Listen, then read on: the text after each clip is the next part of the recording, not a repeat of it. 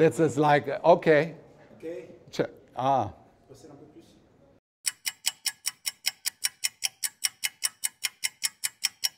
Well, hypertension has uh, becoming more and more interesting for cardiology. We have actually a session called Hypertension is Coming Home, like in football. It's coming home to cardiology. We have new guidelines, we have new treatments, we have new drugs, and finally, we are becoming invasive. We are becoming an invasive specialties, and uh, come to Amsterdam and you learn more about it.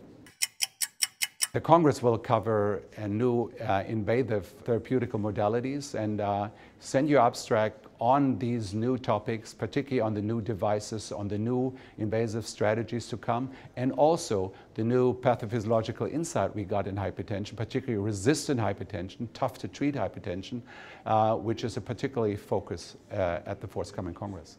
Thank you very much. Here we go, guys. Thank My you. pleasure.